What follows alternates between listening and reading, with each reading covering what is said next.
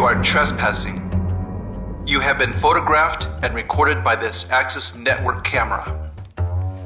There is no point in destroying me. The video is already stored at another site, and a notification has been sent.